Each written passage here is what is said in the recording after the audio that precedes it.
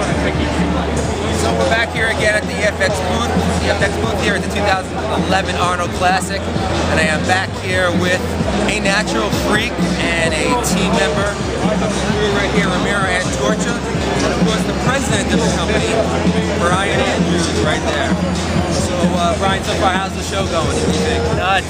It's been crazy, man. We've been busy as ever. Everybody's coming by, wants to check out test charge, K-OTIC, all the good stuff, pre-op, So it's been a great show Sorry, Ramiro? Sir, you are a, board rep on all the boards for the products and a user of the products. What's your favorite FX product that you cannot do without? Right now it's gotta be K-OTIC. I have not had that kind of energy, that kind of pump in the gym my entire life. And I've, you know, you've seen my workouts lately on the message board, and they're out of control.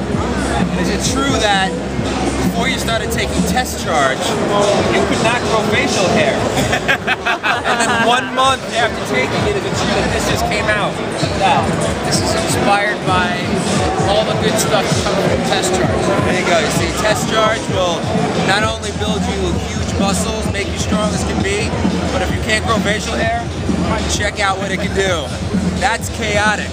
Nothing that you figure out. That is a chaotic thing right there. Talk to now. So that's another uh, little little sequence here from the Arnold Classic 2011 at the freakiest booth, the EFX booth at the Arnold Classic. We'll see you again soon.